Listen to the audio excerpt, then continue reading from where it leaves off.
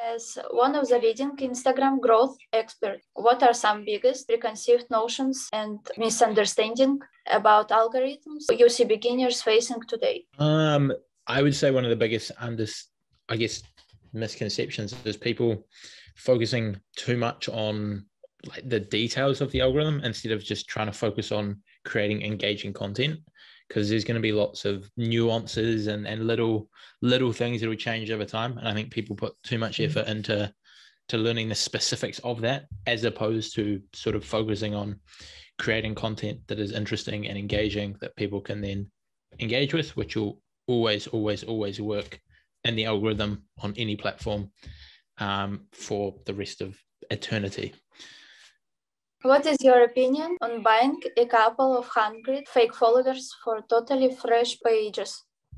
Um, I wouldn't do it. I think a lot of I know a lot of people that have done that sort of thing in a situation like the only situation that I've I would sort of somewhat agree with that is where people might be promoting a product and they want credibility on their account. But um, personally, I think it's better if you're trying to build an audience just to focus on I mean, nowadays you can create reels and get a couple of hundred followers in a few days just by some interesting reels.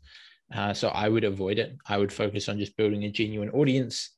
Uh, you could spend a little bit of money on ads or influencers to to get those first couple hundred followers because I know it can be tough, but um, buying fake followers is only going to hurt you in the long run.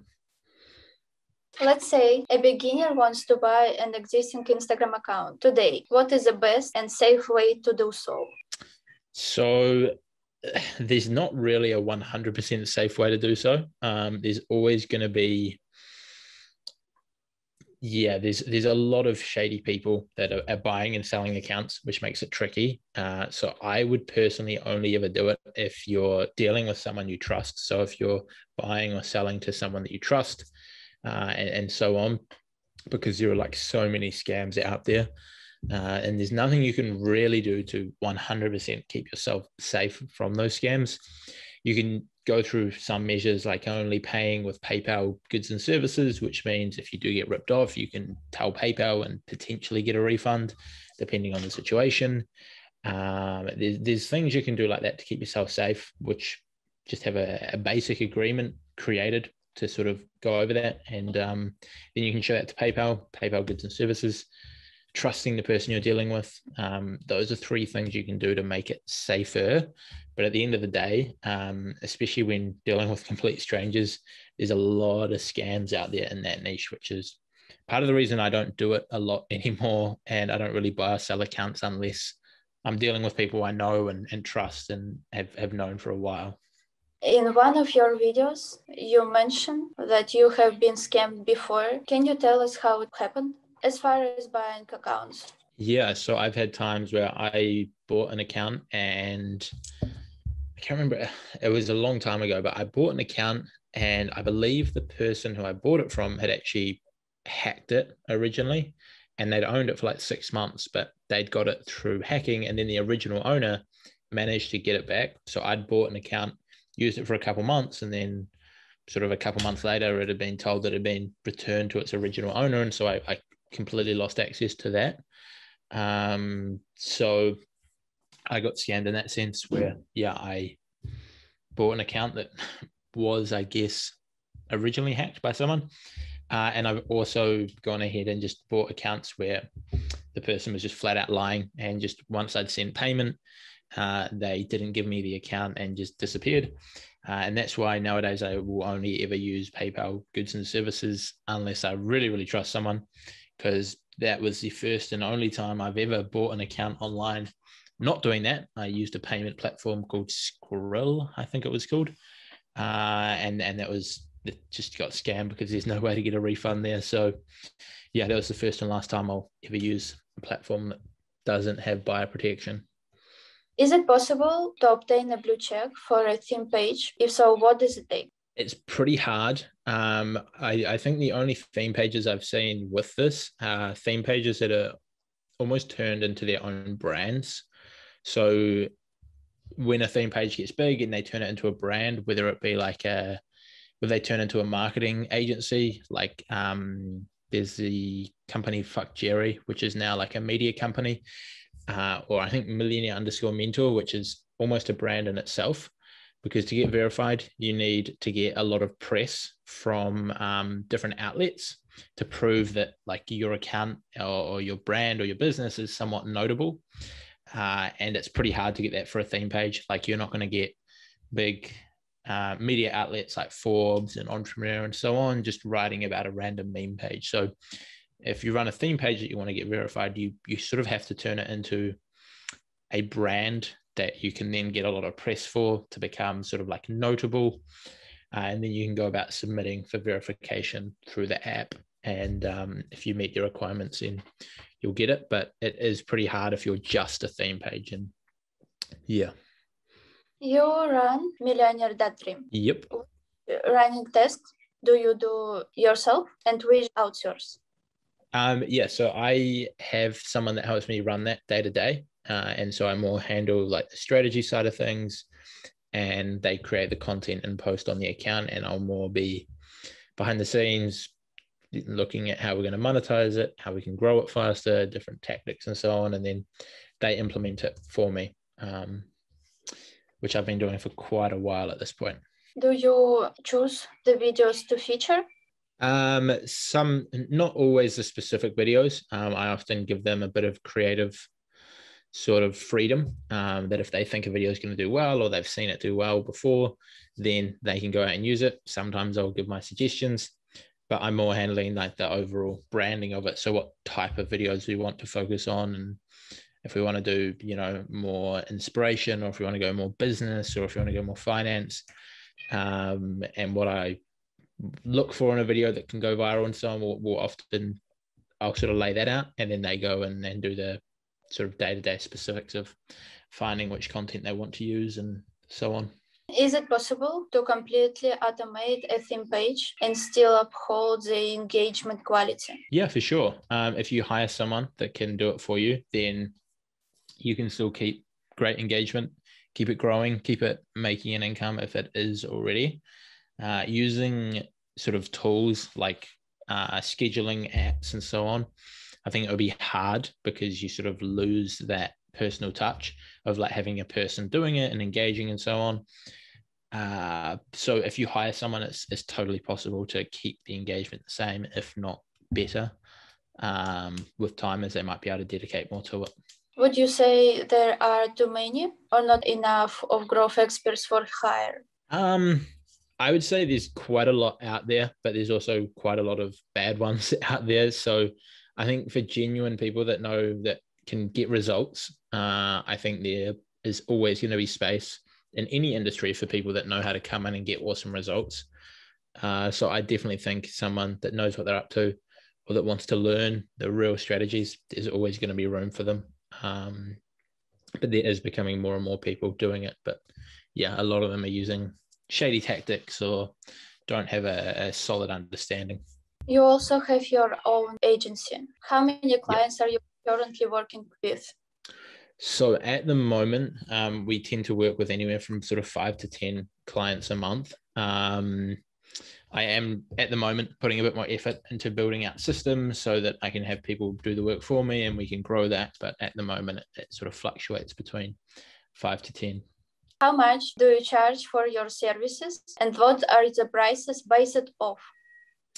So we charge a thousand dollars a month for just management. Um, we will we'll run an account, we'll do what we can to grow it organically and, and we'll build it up there. Then we are in the process of adding other services. So we've got a growth service where we can sort of run shout outs to, to grow a client's account. So we can, I've got my own pages and other pages in like the business marketing motivation niche. And we can do shout outs on those accounts um, to grow the client.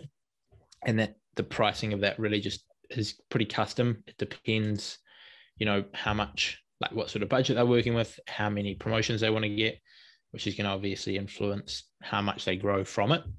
So that can range anywhere from a couple hundred dollars to a couple thousand dollars a month for influencer marketing. Uh, and then that, that's pretty much the main two management and then influencer marketing, uh, which as far as how we come to those prices, it, I mean, I don't really have a perfect formula that I've, I've gone ahead and, and worked out to come to those prices.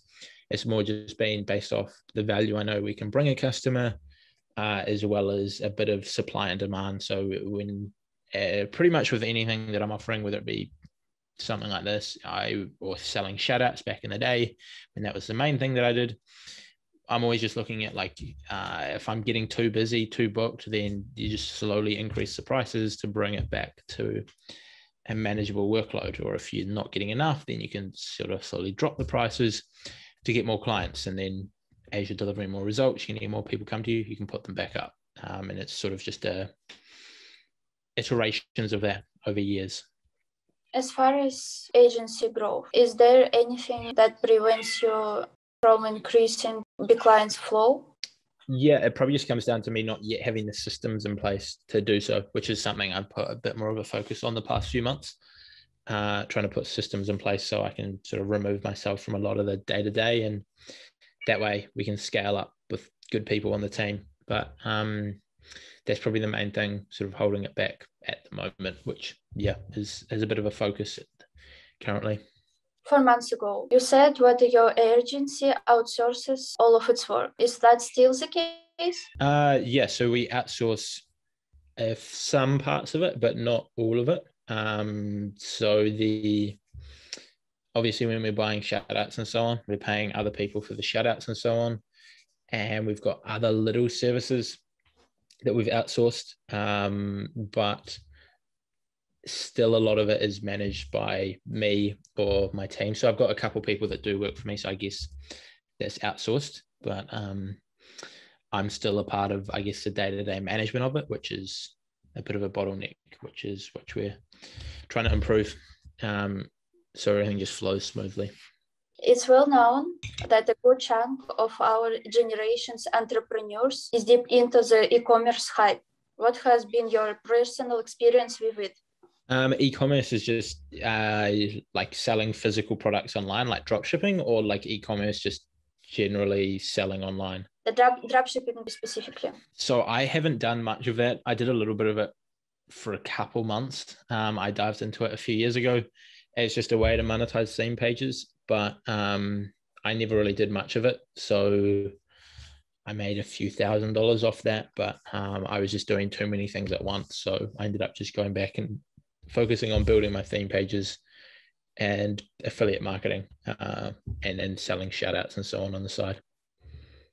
What advice do you have for people that want to make money online but have no idea which angle to approach from? I would just say focus on building some sort of skill which then can be profitable um, in the long run rather than trying to focus on i guess a specific side hustle i would look at building some kind of skill. So whether that be maybe you learn sales and then you become a salesperson for a company whether it be online or or locally uh, and you can do sales for them to make an income. Or maybe you go out and learn graphic design and you start doing graphic design and then you get clients for that or maybe you learn how to build audiences on Instagram, like what I've done, and then you learn how to monetize that. I would focus on picking a skill you want to learn and focusing on that and just focus on that one thing, whether it be sales, whether it be marketing, web design, graphic design, video editing, whatever it might be. Pick a skill, focus on that, build up that skill set, and then over time, you'll be able to generate a, a good income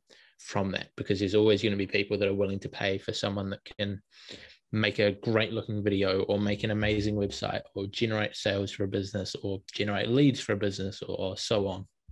That would be my advice anyway. And that might be in the form of drop shipping. So maybe you go out and do drop shipping as a way to learn how to run Facebook ads and so on. Uh, and then you can do whatever you want with that. But I would focus on a skill, would be my advice.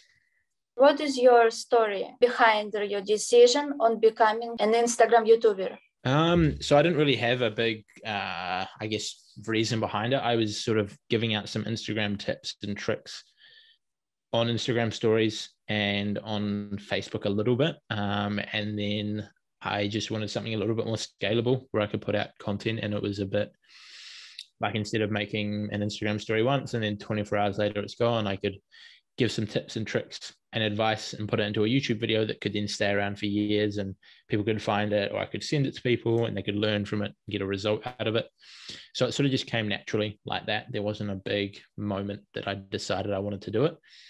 And then over time, I just really enjoyed doing it. So I stuck at it and um, built up that audience. Do you have any mentors? If so, can you name them? I don't have any, like, I don't really have one specific mentor as such. I've got lots of people that I've learned from over the years. Um, there was an account, millionaire underscore mentor, which helped me out a lot in my first couple of years of building Instagram accounts. He taught me a lot of what I, I knew back then about building accounts and uh, was great for networking and so on. So he helped me with tips a lot back then. Um, since then, I've had different people help me throughout the years, but I would say I've almost learned more just off networking uh, and so on than having like a dedicated mentor. I've learned lots of different friends that I've built over the years um, in the industry and so on. I haven't really had one one person guiding me through this whole time.